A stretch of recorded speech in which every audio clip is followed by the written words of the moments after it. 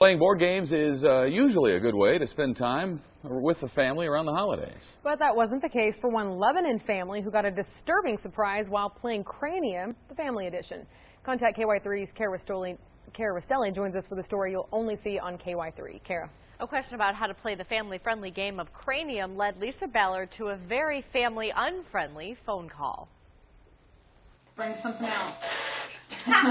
With a brood of five plus a few friends, board games are a must on a cold winter day for the Ballard family. So did she put a blue on? But last week, their regular game night was interrupted after a question about Cranium Family Edition led to an accidental call to a sex hotline. Hey there, sexy guy. It floored me. The first number Lisa Ballard called was provided on the instruction sheet for the game. The number is at the bottom of it. Don't wait to meet new and exciting people. Talk to them now. Call 1 800 962 TALK. It was like, would you like to talk to live people?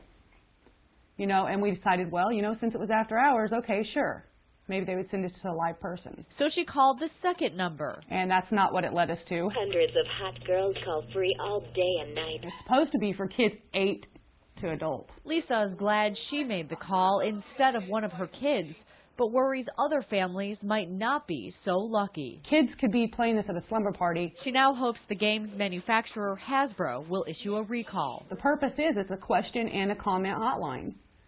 You know, you don't expect it to be what it is. Haha. In the meantime, she and her brood will stick to Uno. Say hi. We have contacted Hasbro, but have not yet received a return call. Now, in addition to an explicit message, the um, hotline also asked for a credit card number. Obviously, Lisa didn't put that in, but she's worried that kids wouldn't know any better. Well, I wish we could could have gotten a hold of them, or they would have returned our phone call. Because I'm so interested in how this could have happened. Yeah, unfortunately, they didn't return our call. but Perhaps they're not in because of the holiday. Right. We'll definitely let our viewers know once they return our calls to see if there's going to be a recall or what people can do. She obviously tried to call Hasbro, but couldn't because it was the wrong number. And so we could have been the first to notify them. So they may just be finding out about it. Did you just find their number on the website or something? Well, from the sheet that was in the in the. Oh, I'm sorry. Online, we searched for media relations and called that number. That's interesting. Yeah. All right. Thanks, Kara. Sure.